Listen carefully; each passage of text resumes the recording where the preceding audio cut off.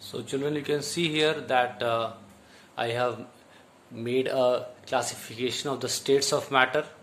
We need not go into the details of what uh, the other the last two states but uh, as regards the states of matter the three that you have been learning since your class 5th or 6th are solid liquid and gas two more states are there that we are not st- studying here in this syllabus but you should be having knowledge of it so all together there are five states of matter they are namely solids liquids gases plasma and Bose-Einstein condensate so solids you already know that these are those state of matter in which there is a definite shape, definite volume, strong intermolecular forces of attraction, fixed volumes.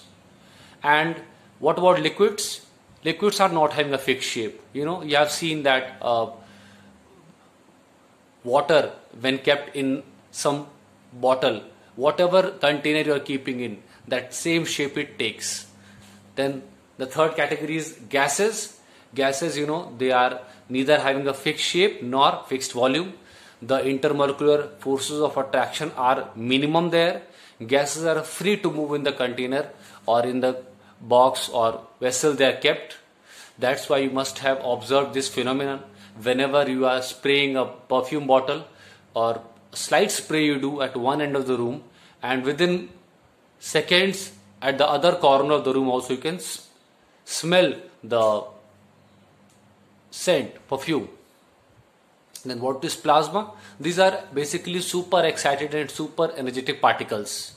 That means there is too much energy in these types of particles and they are in the form of ionized gas. Ions, you know, an ion is formed by whenever a element is losing an electron. We can say not element, but an, um, if an atom loses one electron, excuse me, so or gains one electron, it becomes an ion. That means it will have either a plus charge or a minus charge. That means by losing or gaining an electron. So where do you see plasma? You see plasma in the fluorescent tubes and in the neon signboards. Then the last one is Bose-Einstein condensate. What is this?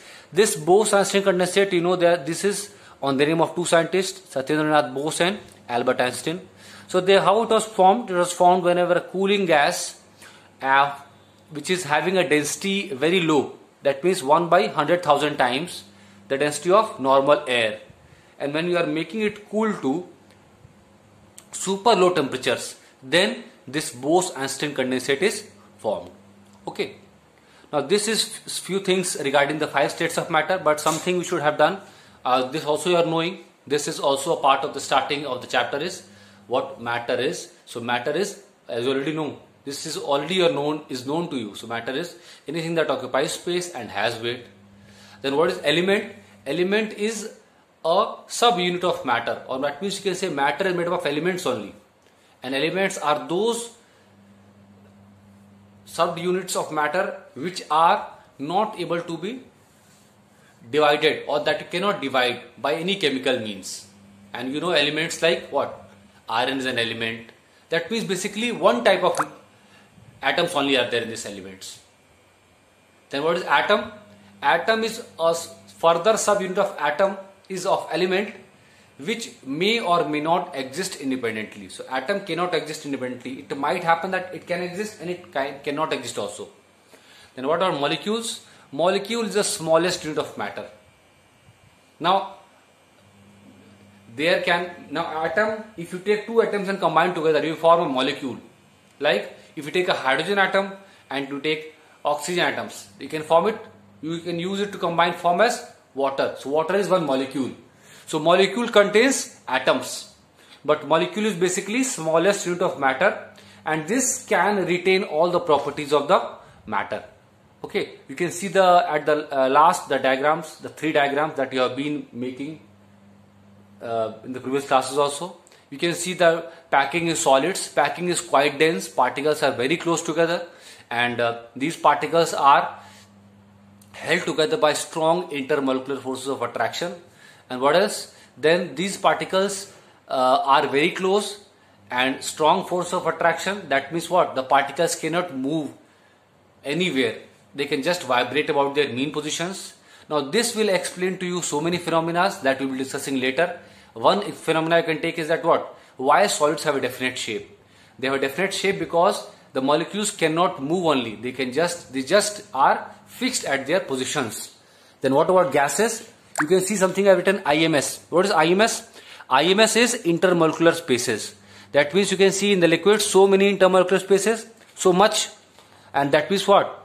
Because of the comparatively lesser intermolecular forces of attraction, the molecules in the liquid are free to move.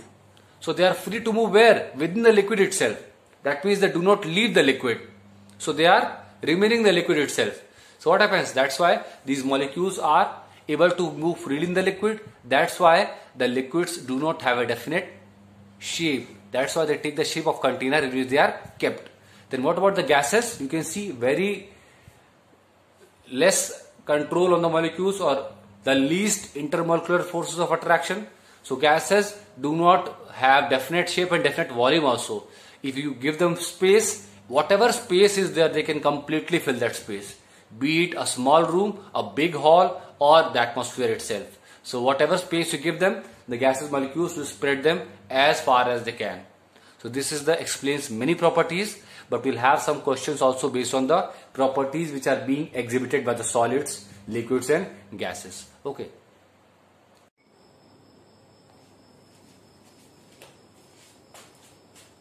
So children, till now we had uh, discussed about uh, what are the atoms, molecules and uh, what is the explanation regarding the different types of states, the five states I have told you and uh, what type of state has got specific classifications or we can say each state has got what set of general properties because of which certain specific things are shown. In a nutshell, I have told you, we'll be dealing with it also in the consequence means in the concluding sections of the chapter.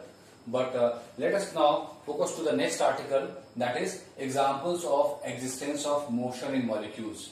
That means all the molecules that are there, they are in a continuous motion. Okay, so all of these are in continuous motion. So what uh, are the examples that we can give for that? Let us see the first example that proves that molecules are in continuous motion. Children see here one thing that you can get this same thing as a question in the exam also that give some examples to prove that molecules are in continuous motion. Okay, so this thing. So first thing is what? See here. Spreading of perfume fragrance in a room in which no motion of air is there. That means children one common uh, example you might have seen. Suppose in a room there is no flow of air. Air is there in the room but air is not flowing. That means no fan is there or no fan is uh, functional or anything like that. There is still air in the room. Now if you are spraying a one time perfume with that uh, knob you are pressing once in one corner of the room. In very less time, in very less span of time, that smell of perfume can be smelled in the other corner of the room. What does it prove? It proves that the, the fine particles of the perfume must have been traveling or they must have traveled to the other part of the room also. So we can conclude that the molecules are in motion. If they were not be in motion, then what we can say? Had they not been in motion, that particular smell of perfume would have been confined to a, that portion of room where the spray was done. Got it? Now, next is what? How to explain this thing? The explanation will be whenever you are pressing the knob of the perfume once, that particular uh, gas will be that special type of molecules are there that are of the perfume. They will be attacked by the gas molecules of the air from all sides which are in motion. Because of that motion, the perfume molecules are the, the gas molecules of the perfume are broken into further small particles and they start traveling with the air only. That means air molecules since their motion, they will, they will carry them along. This is one example. One very common example I give you is that whenever mama prepares something in the kitchen, when you prepare something in the kitchen, even if you are very far from the kitchen, or you might be there in the, your uh, entry of the house only, still you can smell it.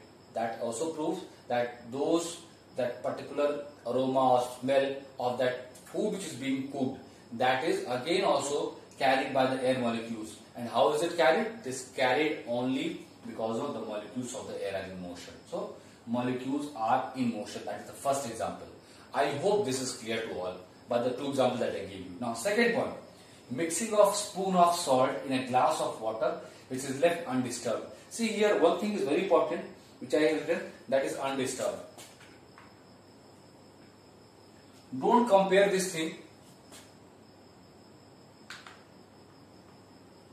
Don't compare this thing that you are taking uh, uh, salt and water and then you are stirring it. No, we are not to stir here. We have to just take a glass of water and then put some uh, one spoon of salt into that. And that glass of water is left undisturbed. That means you are not mixing it by yourself. You leave the glass undisturbed. Then what happens?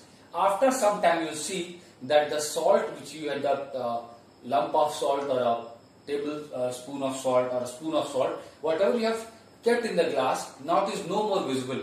That means what? The molecules of liquid also are in continuous motion.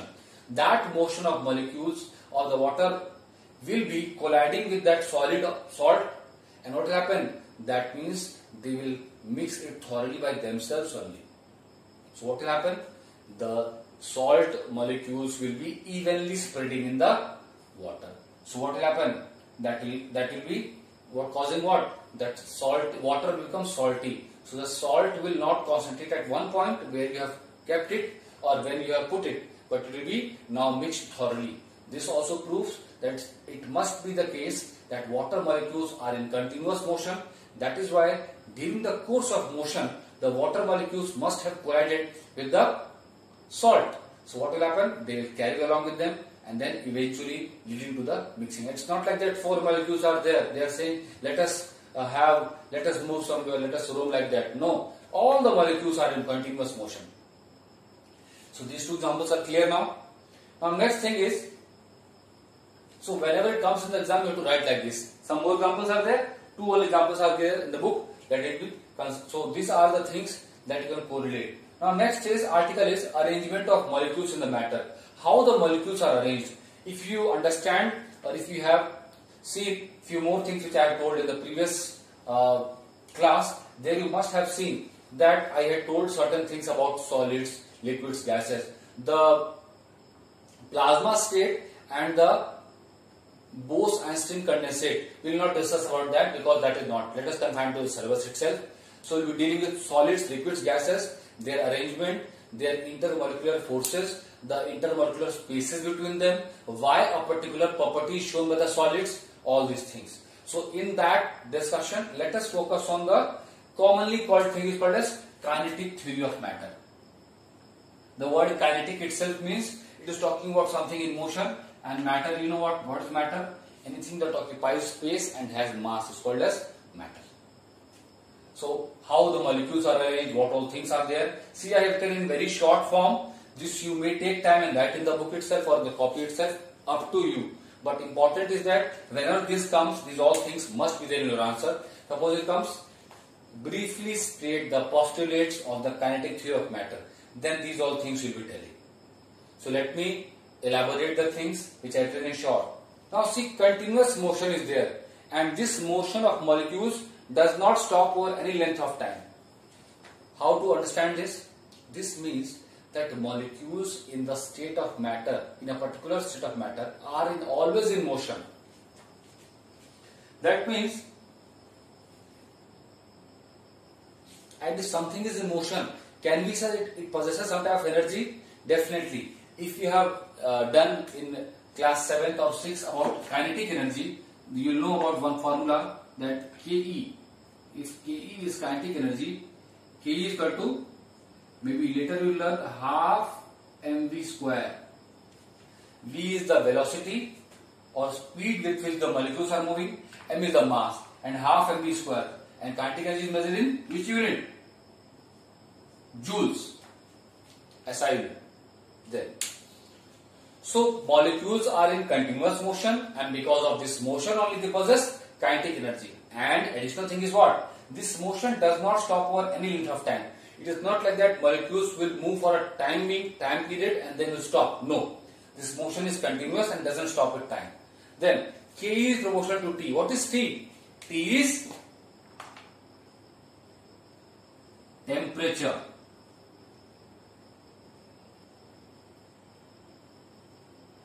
T is temperature. So kinetic energy is proportional to temperature. That means as much temperature you will increase, the kinetic energy associated with the molecules also increases. How to correlate this? If ever you are taking normal water which is at room temperature in a bowl and then keeping it on the flame, turning the, the knob of the gas on and the flame you have kept. Initially you will see that the molecules of the water or the water is still, surface is still. But as and when time progresses, what happens is that we can see certain turbulence develop in the water, in that pan.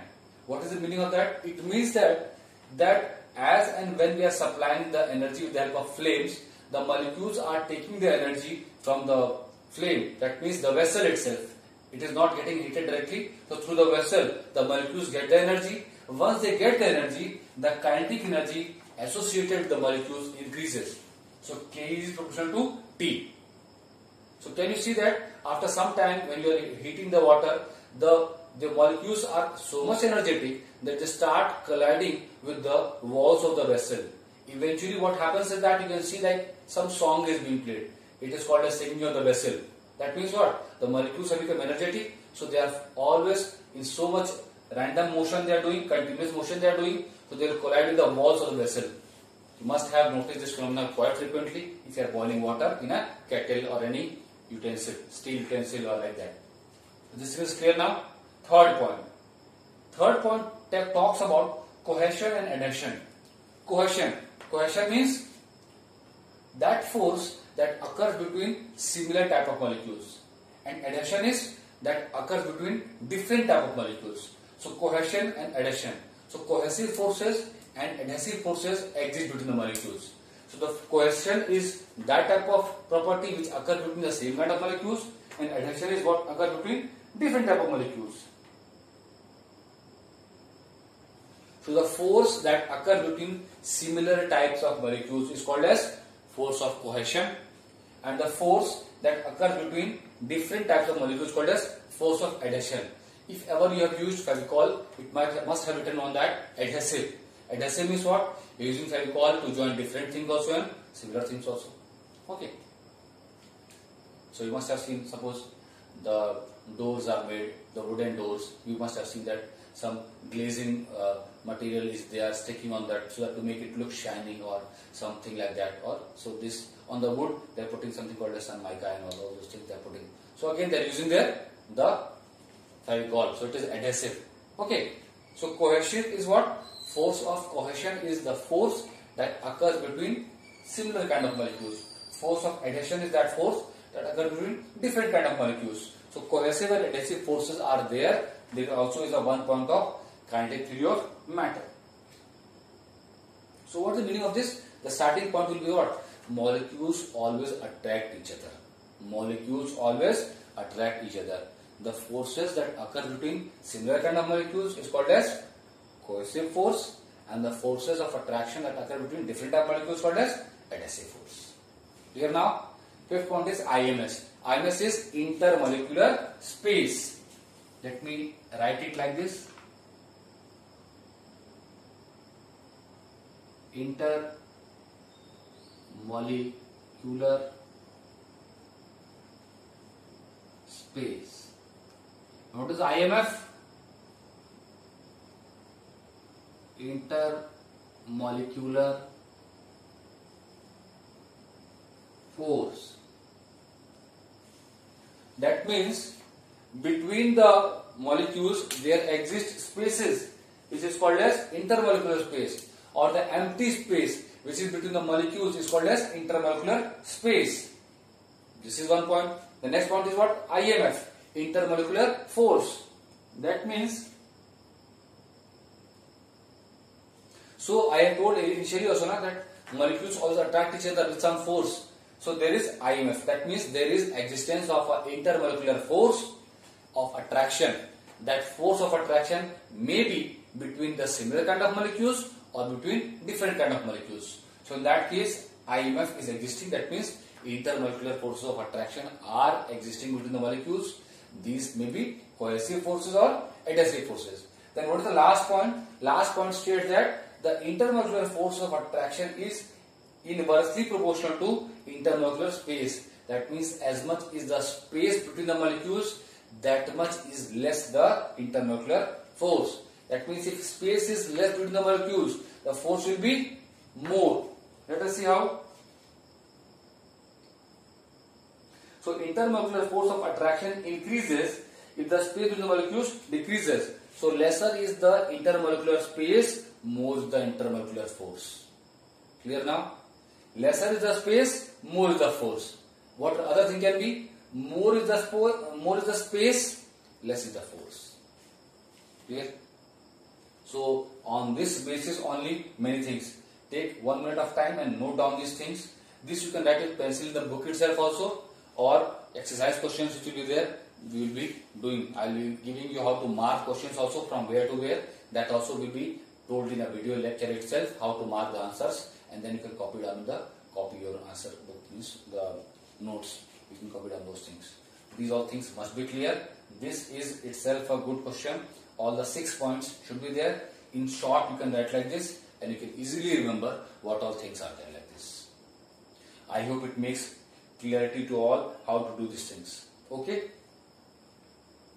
So whenever we meet next, whenever our next uh, article is there, that will be based on what? Arrangement of molecules in the solid, arrangement of molecules in the liquid and arrangement of molecules in the gas. Little bit idea already have given you regarding this, but let us uh, focus on it in a greater details so that many more phenomena that are shown by these solids, liquids and gases, we can verify this, we can justify that this particular phenomena that the solid is showing is because of this particular property in the solid or liquid or gases. Okay.